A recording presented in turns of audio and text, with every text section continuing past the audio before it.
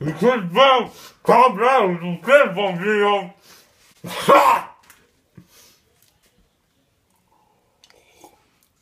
Good night. 64 Joey.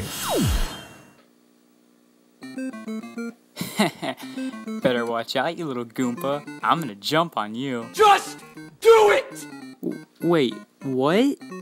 Are you feeling okay? Why would you respond like that? Is something wrong? Just do it! Well, I, I mean, don't get me wrong. I, I really do want to jump on you, but now I just, I, I feel bad. What's wrong, man? It's just that ever since the wife came out, you know, it's just been real hard to like find a job and the kids aren't in the house anymore. It's just really hard for me and depressing, you know. Ah, well, I'm, I'm real sorry to hear that, man. Do you need a hug? Nope.